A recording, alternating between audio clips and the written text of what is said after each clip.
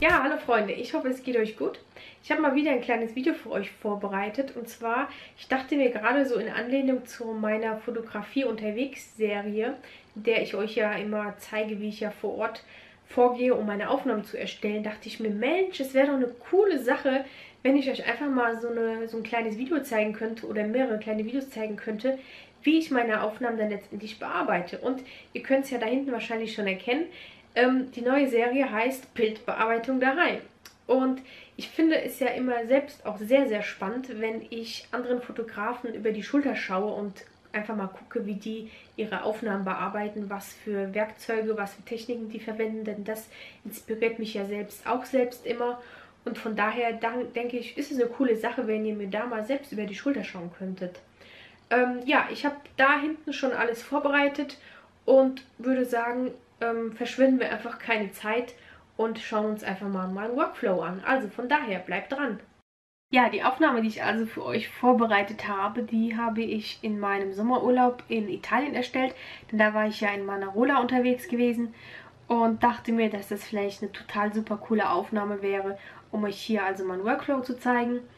In meiner Bibliothek seht ihr also bereits schon, dass ich hier diverse Aufnahmen hm, von diesem Standort erstellt habe. Und habe mich also hier für dieses Bild entschieden.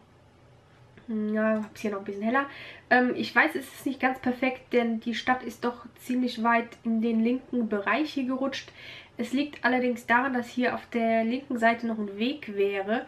Und wenn ich hier also weiter nach links geschwenkt hätte, dann hätte man halt eben diesen Weg mit den Personen drauf dass, da ich das vermeiden wollte, bin ich halt also zu dem Entschluss gekommen, eben diese Perspektive hier zu wählen. Okay, vor Ort habe ich hier ähm, so eine kleine Belichtungsserie gemacht, habe hier drei Aufnahmen erstellt. Ähm, ich dachte vor Ort, ja, wäre vielleicht nicht schlecht, wenn man das hat. Wenn ich mir jetzt jede Bilder ähm, am PC so anschaue, bin ich allerdings doch der Meinung, dass das Ganze unnötig ist. Und von daher würde ich mich halt einfach mal für eines dieser drei Aufnahmen entscheiden. Das ist diese helle Aufnahme, wie man halt erkennen kann. Und das ist eine, eine Aufnahme, die ein Ticken dunkler ist. Und da mir hier die Gischt im unteren Teil des Bildes hier viel besser gefällt als hier bei dieser Variante, würde ich mich halt entsprechend hier für diese Aufnahme entscheiden. Ja, und ich weiß jetzt nicht, ob ihr mein Video zum Thema Fotografie unterwegs kennt, denn da war ich ja einmal am, am Ammersee gewesen, habe dort ein paar Langzeitbelichtungen gemacht und in dem Video, da habe ich ja einen kleinen Bildbearbeitungsteil mit eingebaut in das Video. Und da sind ja gewisse Dinge, die ich halt auch in diesem Video hier halt anspreche. Und von daher, wenn ihr es kennt, dann kommen euch diese Dinge halt schon bekannt vor. Und wenn ihr das Video nicht kennt, würde es mich natürlich freuen, wenn ihr da mal reinschauen könntet. Aber ansonsten ähm, ist das Ganze so ein bisschen ähm, parallel, die Videos, die da halt eben angelegt sind. Denn eben die Bildbearbeitung ist ja oft die gleiche. Ja, mein erster Schritt, den ich halt hier entsprechend durchführe, ist halt ganz unten in der Kamerakalibrierung. Da passe ich halt hier das Profil dazu an und ähm, ja, wähle hier als Profil das aus, was mir dann doch am besten gefällt. Ähm, ich denke hier Porträt kommt immer ganz gut hin oder auch Light. Ja, ich entscheide mich mal hier für Light. Da gefällt es mir ganz gut, denn bei, bei Landscape, was es ja eigentlich ist, da wird das Bild doch ziemlich dunkel. Und es ist zwar von der Helligkeit ist es halt noch so okay, aber was bringt es mir, wenn ich hier das Bild abdunkle, aber dann gleich im nächsten Schritt wieder aufhelle. Also von daher würde ich halt einfach mal Camera Light auswählen. Hier unten bei den, bei den Farbreglern, ähm, die wende ich auch immer ganz gerne an. Fange da meistens mit dem Blauwert an und kann hier doch Werte von ja, 70, 80 auswählen, ohne dass es unnatürlich aussieht. Bei dem Grünwert, da, wenn ich die, den Bereich oder die Sättigung hier anhebe, ähm, wirkt sich das hier schön auf die Häuser und den Himmel hier aus, da mir das ganz gut gefällt. Oder da ich ja die Absicht habe, das zu verstärken, ähm, wende ich halt hier diesen Regler an. Okay, beim Rotkanal, es ist meistens der Kanal, den man bei dem man die Werte nicht zu sehr hochziehen sollte oder nicht zu sehr übertreiben sollte, denn da wirkt es doch sehr übertrieben aus. Okay, gut. Kurzer Vorher-Nachher-Vergleich. Man sieht schon, dass man hier eben durch ein anderes Profil und durch die Anpassung hier dieser ähm, Sättigungswerte hier doch ein sehr, sehr viel spannenderes Bild erstellt hat. Okay, kommen wir nun weiter hier, ähm, hier oben dazu. Ähm, da würde ich halt hier die Objektivkorrekturen auswählen oder anpassen, die CAs entfernen und die Profilkorrektur aktivieren. Ich habe ja das Ganze, ähm, die Aufnahme mit meinem Sony, ähm, meiner Sony-Kamera erstellt mit den 1635 mm und der Sony A7R. Und ja, gut. Ähm, genau. Als nächstes können wir ähm, uns mal die 100% Ansicht anschauen, denn da sehen wir, dass das Bild, es wurde mit ISO 200 aufgenommen, aber ich denke, man muss es hier also absolut nicht, ähm, das Rauschen absolut nicht reduzieren. Was mir jetzt hier allerdings doch in dem Sinne auffällt, ist, dass das Bild vom Horizont doch ein ganz klein wenig schief ist. Ähm, kann man also ein bisschen begradigen. So, okay müsste so soweit dann passen. Jo, alles klar. Schärfen, mh, mm, da wende ich meist so Werte so um die ja 35, 40, 45 an. Ähm, ja, wende ich immer ganz gerne an. So, kommen wir also nun ähm, hier oben zu den Werten. Und ähm, da fällt mir halt als erstes auf, dass dieser Fels Bereich hier unten, dass der ein bisschen zu dunkel ist. Denn es ist halt so, dass die, äh, die Sonne hier von, von, von im rechten Bereich war und ähm, dementsprechend konnte halt dieser Felsen hier nicht mehr von der Sonne angestrahlt werden. Ja, ich würde jetzt halt also hier einen Verlauf anwenden, um halt hier einfach nur selektiv diesen, diesen Felsen hier oder diesen Bereich hier nur selektiv aufhellen. So, Belichtung kann man noch einen Ticken reduzieren. So. Okay, kurzer Vorher-Nachher-Vergleich. Ja, man sieht halt schon deutlich einen Unterschied. Okay. Ähm, ja, als nächstes, was mir halt auffällt, würde ich halt einfach hier diesen blöden Sensorfleck einmal mal entfernen wollen. Ich werde jetzt hier natürlich nicht alle Flecken entfernen. Das kann man ja in Ruhe durchführen. Aber der eine halt, der stört mich doch extrem. Genauso hier wie diese Bojen die doch durch die Langzeitbelichtung ein Ticken unscharf aussehen. Okay, ansonsten, ich habe hier halt nicht ähm, immer gleichen Bildbearbeitungsstil. Ähm, ich mache halt oder ich ändere das halt in der Regel immer, was mir halt auffällt. Und das ist ja immer halt von Bild zu Bild unterschiedlich. Also von daher, ich habe da halt also echt keine wirklich besondere Reihenfolge. Da wir dann jetzt also hier entsprechend beim Thema sind, fällt mir halt bei dieser Aufnahme auf, dass ich hier so einen leicht dunkelblauen Fleck habe oder Bereich habe, denn das kommt daher, dass ich mit dass ich diese Aufnahme halt eben mit einem Polfilter erstellt habe und ich wahrscheinlich den Polfilter nicht richtig angewendet habe oder angepasst habe. So, daher würde ich halt versuchen, diesen, ähm, diesen Bereich einfach mal zu kaschieren und den ein bisschen abzuschwächen, sodass es nicht ganz so gravierend aussieht, wenn man sich hier dieses Bild anschaut oder dieser Fleck einem direkt ins Auge sticht. Ja, wie machen wir das? Ich hab, ihr habt es ja gesehen, ich habe hier so, ein, ähm, so, eine Maske angewendet um diesen Bereich und habe halt hier die Belichtung so ein bisschen angepasst und würde halt vielleicht die Tiefen auch noch einen Ticken höher machen. So, na, das Schwarz, ja, doch, so kommt es dann schon hin, so wie ich mir das vorstelle. Kurzer Vorher-Nachher-Vergleich und ja, man sieht deutlich, dass dieser Bereich jedoch sehr, sehr schön kaschiert wird. Okay, als nächstes würde ich versuchen, dass ich hier mal am Himmel so einen Verlauf erstelle. Ja, vielleicht so ein bisschen tiefer und halt versuchen würde, mm, dass ich hier diese, diese Wolkenfetzen, die hier so schön angeleuchtet werden, dass ich hier diese einfach mal ein bisschen verstärke. Und es geht hier mit den, mit den, ja, mit den Werten von Lichtern und, und Tiefen immer ganz, ganz gut und ganz schön. Da kann man hier halt so mal so ein bisschen spielen. Denke so. Klarheit kann man auch noch einen kleinen Ticken erhöhen, sodass man ein bisschen was an Kontrast hat. Ähm ja, ich denke so. Auch nochmal kurzer Vorher-Nachher-Vergleich. Ja. Okay. Gut, jetzt können wir uns hier mal ein Vorher-Nachher-Vergleich anschauen und ja, sieht doch schon mal ganz gut aus. Ähm, genau, was euch vielleicht aufgefallen sein mag, ist, dass ich diese Aufnahme ja gar nicht im 16 zu 9 Format beschneiden habe, äh, oder beschnitten habe, sagen wir so. Denn es liegt daran, dass, wenn wir uns das Ganze mal in 16 zu 9 Format anschauen, ich hier diesen unteren Bereich hier schön wegschneiden würde. Und da mir hier diese Fels, diese Felsformation hier unten sehr, sehr gut gefällt, würde ich das Ganze also tatsächlich mal im normalen Standardformat lassen. Ja, okay.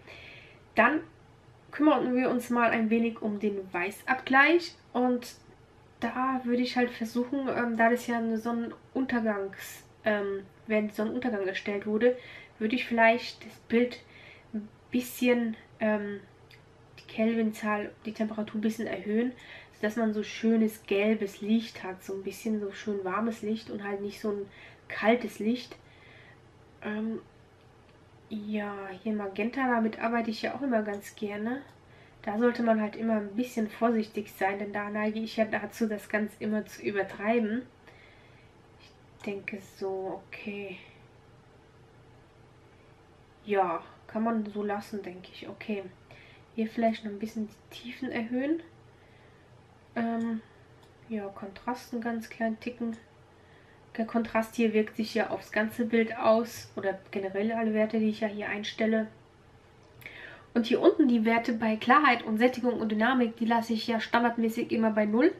Ähm, das liegt daran, denn, da, denn ich verwende ja oder bearbeite meine Aufnahmen ja dann immer noch ein bisschen in, in Photoshop und wende ja da auch noch diverse andere Filter an und habe festgestellt, dass wenn ich hier die Werte auf, ähm, auf 0 lasse, dass ähm, später die Sättigung bei der weiteren Bearbeitung ähm, immer schon dezent bleibt. Denn wenn ich jetzt hier die, die Sättigung ein ähm, bisschen erhöhen würde, dann würde das Bild später, wenn, es, wenn es fertig ist, im Endresultat sehr, sehr übertrieben aussehen, was die Sättigung angeht. Und von daher, da habe ich also echt die Erfahrung gemacht, den Wert immer schön bei Null belassen. Später kann man ja die Sättigung immer noch anheben, falls es einem zu wenig sein sollte. Okay, ähm, als nächstes bin ich halt hier mit meiner Bearbeitung soweit in Lightroom fertig und würde das Ganze also nun in Photoshop weiter bearbeiten. Und ja, von daher, ich öffne das Ganze jetzt also mal in Photoshop.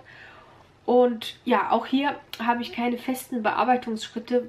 Ich ähm, ja, habe halt diverse Filter oder diverse, diverse Werkzeuge, die ich halt in der Regel immer anwende oder halt, ja, ich sag mal zu 80, 90 Prozent der Fälle ähm, es hängt also echt immer vom Bild ab, welche Werkzeuge ich verwende oder wie ich sie verwende. Und ähm, was ich halt bei, bei, bei Photoshop immer ganz gerne mache, ist, dass ich halt auch sehr, sehr gerne mit den Nickfiltern arbeite. Die Nickfilter sind ja entsprechend jetzt kostenlos, also ihr habt also echt gar keinen Grund mehr zu sagen, nö, brauche ich nicht.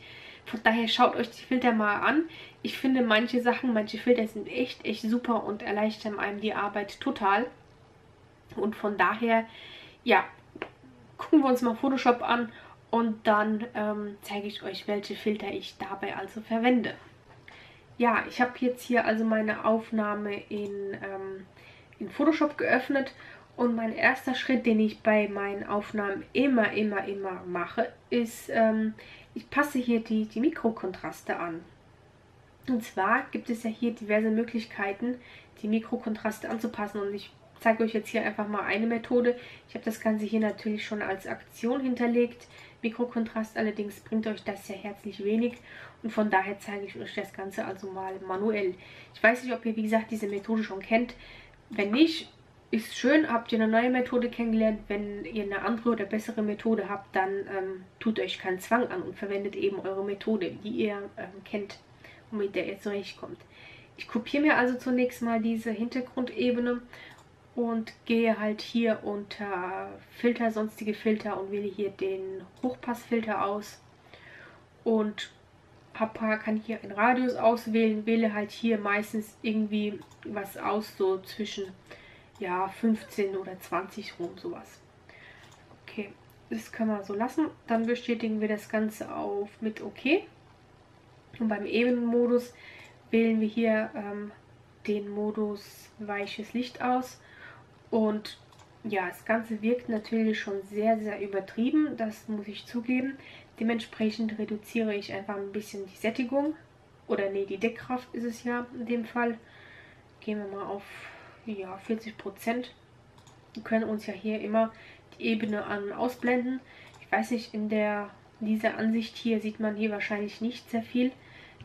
Deshalb würde ich mal in die 100% Ansicht gehen und kann hier nochmal den Filter an- und ausschalten. Und hier sieht man schon deutlich an den Strukturen von den Felsen her, dass der Kontrast oder die, der Mikrokontrast sehr, sehr zugenommen hat. So, ich belasse das also mal hier bei einem Wert von 40, denn meiner Meinung nach bin ich hiermit sehr zufrieden. Ich tue das jetzt mal auf die Hintergrundebene reduzieren und fange jetzt also an mit meinen Nick-Filtern. Dafür gehe ich einfach mal in die Nick Color Effects Pro 4 in die Kollektion und zeige euch einfach mal, mit welchen Filtern ich da arbeite. Auf der linken Seite hat man hier also nun jede Menge Filter. Manche Filter sind echt Schrott, muss ich selbst zugeben, aber manche Filter finde ich echt geil. Ähm, ich wende hier zunächst mal den Contrast Color Range Filter an. Den mag ich sehr, sehr gerne. Standardmäßig wird hier ein Kontrast von 25 eingestellt. Das senke ich immer auf 0%. Und hier oben bei Farbe ähm, hat man hier so eine, so eine Farbpalette und man hat hier einen Regler, wo man halt einfach hier diese Farben entsprechend abfahren kann. Und wie ihr schon seht, wird der Farbkontrast ähm, entsprechend hier halt angepasst, je nachdem in welchen Bereichen ich mich hier befinde. Und das finde ich soweit ganz cool, denn so kann ich halt gezielt diverse ähm, oder so gezielt halt den, den Kontrast bestimmter Farbbereiche halt eben anpassen. Ich denke, so sieht das hier schon mal, oder beziehungsweise in dem Bereich sieht das hier schon mal ganz gut aus. Man hat hier noch den Farbkontrastwert, ähm, den, es ist quasi sowas wie eine Sättigung. Ähm, nicht eine Sättigung, wie eine, wie eine Deckkraft kann hier also, wie gesagt, schön ähm, den Effekt ähm, schön nochmal hervorheben oder so ein bisschen abschwächen, je nachdem, wie man es halt gerne mag. Ja, hier kann man sich noch eine kurze Vorher-Nachher-Vorschau anschauen lassen. Und ja, gefällt mir hier schon mal echt sehr, sehr gut.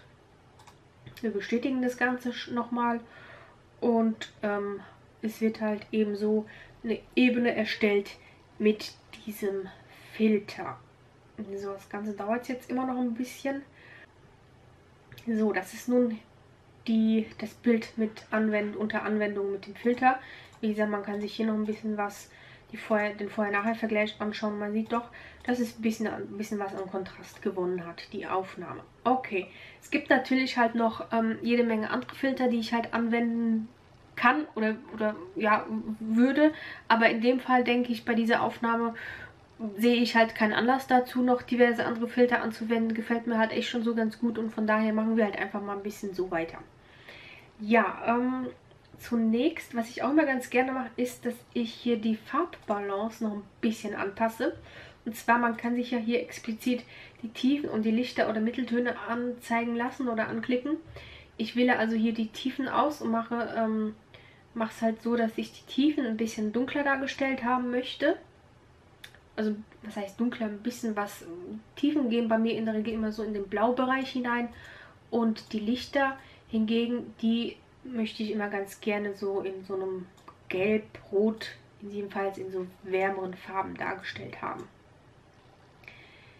Ja, wenn ich mir das jetzt hier doch mal anschaue, ist das bei den Tiefen doch ein bisschen zu intensiv gewesen. Das Blau ähm, hier so. Ja doch, es ist nicht zu übertrieben, aber es ist, man kann doch einen kleinen, aber feinen Unterschied erkennen. Ja. So, okay. Als nächstes würde ich dann mal versuchen, ähm, den Kontrast noch ein bisschen anzuheben, damit es doch noch ein bisschen knackiger aussieht. Das mache ich ganz gerne mit den Gradationskurven. Man kann halt hier entweder so eine, so eine, so eine S-Kurve halt machen. Ähm, ja, ist auch immer ganz, ganz nett. Andernfalls kann man sich hier entsprechende Vorgaben auswählen, indem man hier, ähm, ja, entweder kann man sich ja hier selbst was speichern, ansonsten sind ja hier diverse, diverse Einstellungen schon hinterlegt und wird halt einfach mal so ein bisschen, bisschen rumprobieren. Linearer Kontrast. Mal gucken. Ja. Linearer Kontrast entspricht doch dem, was ich, ähm, was ich mir vorstelle. Man kann halt hier auch entsprechend immer die, die Deckkraft natürlich logischerweise anpassen. Und okay, ansonsten dann nochmal vielleicht so einen kleinen Fotofilter drüber legen, so ein bisschen, ähm, damit es doch ein bisschen wärmer dargestellt wird. Doch die Sättigung ein bisschen tiefer noch. Na, ich weiß nicht, warum ich immer Sättigung sage. Die Dichte in dem Fall oder die Deckkraft. Ähm, ja, so, damit das Blau ist mir vielleicht in dem Fall halt doch ein bisschen zu, ja, zu dunkel, zu, zu blau, zu grün. Weiß nicht, wie ich sagen soll. Hier sieht es doch ein bisschen natürlicher aus, sagen wir mal so. Okay. Ja, mm, mit Alt, mit gedrückter Alt-Taste und wenn ich hier halt auf die Hintergrundebene gehe oder auf meine Ursprungsebene, kann ich ja alle anderen Ebenen ausblenden und habe halt so einen schönen Vorher-Nachher-Vergleich ja, das gefällt mir hier schon echt ziemlich gut. Und ja, so auf den ersten Blick wüsste ich jetzt halt leider auch, was heißt leider, wüsste ich jetzt auch nicht mehr, was man an dieser Aufnahme noch ein bisschen ähm, noch verändern könnte. Von daher, ich bin also echt, ja doch sehr zufrieden mit dem Bild und würde das Ganze also nun fürs Web speichern. Würde es noch ein bisschen verkleinern, das kann ich euch ja mal schnell zeigen, wie ich das mache, denn ich habe dafür ein ganz, ganz cooles Tool. Und zwar unter Datei Skripten gibt es einen Websharpener. Der ist erstellt worden von dem Herrn Andreas Resch. Ist total zu empfehlen. Ich liebe diesen Websharpener. Ich weiß nicht, seit wie vielen Jahren ich den schon benutze. Also da hat der Andreas echt super Arbeit geleistet. Also echt total zu empfehlen. Müsst ihr euch unbedingt anschauen. Ich tue den Link unten mal in die, in die Beschreibung einfügen, damit ihr das Ganze auch findet. Ähm, ansonsten ist, hat, ist es echt super, dieses Programm.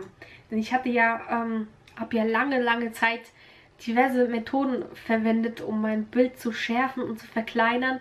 Und das ist echt die beste Methode, die ich dazu gefunden habe. Also von daher müsst ihr euch unbedingt anschauen. Das Ganze dauert jetzt natürlich noch so ein kleines bisschen, bis das hier fertig ist. So, hier wäre nun also mein fertiges Bild, was ich hier verkleinert und geschärft habe. Ähm, es wird also nochmal, also ich zeige euch das nochmal hier ganz kurz. Hier ist ja mein ursprüngliches Bild und wenn ich ja das Skript anwende, wird ein neues, eine neue Datei erstellt und eben verkleinert, je nachdem welche Größe ich ja dazu haben will. Und hier gibt es ja entsprechend ähm, an den Ebenen, hier sieht man, was ähm, dieses Skript gemacht hat.